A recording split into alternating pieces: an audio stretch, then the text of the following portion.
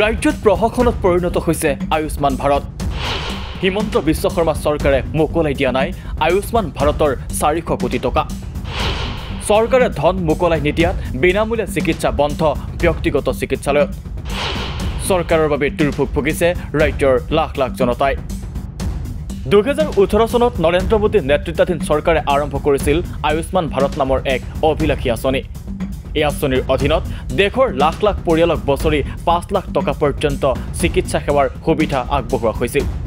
এই আঁচনিৰ অধীনত কেঞ্চাৰ হৃদযন্ত্ৰৰ সমস্যা আদি কেইবাটাও ৰোগক সাঙুৰি লোৱা হৈছিল। কিন্তু শেহতীয়াকৈ প্ৰশাসনত পৰিণত হৈছে আয়ুষ্মান ভাৰত। অসম চৰকাৰে ধন মোকলাই নিদিয়াত আয়ুষ্মান ভাৰত স্বাস্থ্য বীমা আঁচনিৰ অধীনত বিনামূলীয়া চিকিৎসা বন্ধ কৰিছে ব্যক্তিগত হাস্পতালে। আনহাতে পৰ্যাপ্ত আন্তঃগাঁথনি বিশেষজ্ঞ চিকিৎসকৰ অভাৱত চৰকাৰী চিকিৎসালয়সমূহতো বিনামূলীয়া চিকিৎসা সেৱাৰ পৰা বঞ্চিত হৈছে ৰোগী। শেহতীয়াকৈ অসমীয়া প্ৰতিদিন কাকতত এই সন্দৰ্ভত প্ৰকাশ পাইছে এক বিস্তৃত প্ৰতিবেদন। সেই অনুসৰি অসমত অটল অমৃত অভিযান ছ'চাইটিয়ে আজিৰ দিনটোত চৰকাৰী আৰু বেচৰকাৰী হাস্পতাল মিলাই দিবলৈ আছে প্ৰায় চাৰিশ কোটি টকা।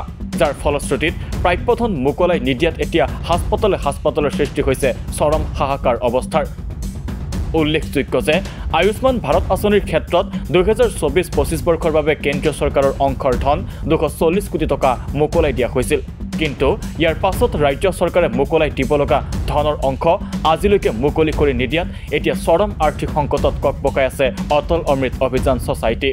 আৰ্থিক সংকটৰ বাবে প্ৰায় দুই লাখটা দাবীৰ বিপৰীতে অটল অভিযান ছ'চাইটিয়ে ব্যক্তিগত আৰু চৰকাৰী খণ্ডৰ হাস্পতালক চাৰিশ কোটি টকা আদায় দিবলৈ সক্ষম হোৱা নাই। যাক লৈ এতিয়া অটল অমৃত অভিযান ছ'চাইটিৰ অভ্যন্তৰৰ সৃষ্টি হৈছে চৰম হাহাকাৰ অৱস্থাৰ। সমান্তৰালভাৱে নিৰ্ধাৰিত সময়ত প্ৰাপ্য ধন নোপোৱাত আয়ুষ্মান ভাৰত স্বাস্থ্য বীমা আঁচনিৰ অধীনত বিনামূলীয়া সেৱাক লৈ চৰম বিপদত পৰিছে হাস্পতালসমূহো। ইয়াৰ মাজতে স্বাস্থ্য বীমা আঁচনিখনৰ অধীনত ৰোগীয়ে উপযুক্ত চিকিৎসা সেৱা নোপোৱাৰো অভিযোগ উত্থাপন হৈছে। আনহাতে চিকিৎসাৰ নামত ধন আদায় দিব নোৱাৰাত ব্যক্তিগত খণ্ডৰ হাস্পতালৰ পৰা আয়ুষ্মান ভাৰতৰ সিংহভাগ চিকিৎসা সুবিধা হঠাতে কৰ্তন কৰা হৈছে। অতি গুৰুত্বপূৰ্ণ বিষয়টো হৈছে সকলো কৰ্কট ৰোগ প্ৰসূতি ৰোগ চকু চিকিৎসা ডায়েলিচিছ আদিৰ সুবিধা ব্যক্তিগত খণ্ডৰ হাস্পতালৰ পৰা কৰ্তন কৰা হৈছে। পৰিণতিত ৰোগীয়ে চৰকাৰী চিকিৎসালয়ত এনে ৰোগৰ চিকিৎসা কৰাবলৈ চৰম দুৰ্ভোগ ভোগ কৰিব লগা হৈছে। ব্যক্তিগত খণ্ডৰ চিকিৎসালয়ৰ পৰা আয়ুষ্মান ভাৰতৰ অধীনত বহু চিকিৎসা সুবিধা কৰ্তন কৰাৰ বিপৰীতে চৰকাৰী চিকিৎসালয়ত এতিয়াও পৰ্যাপ্ত যন্ত্ৰপাতি বিশেষজ্ঞ চিকিৎসকৰ অভাৱ। যাৰ ফলত এতিয়া এই সকলোবোৰৰ বাবে দুৰ্ভোগ ভুগিবলগীয়া হৈছে সাধাৰণ জনতাই।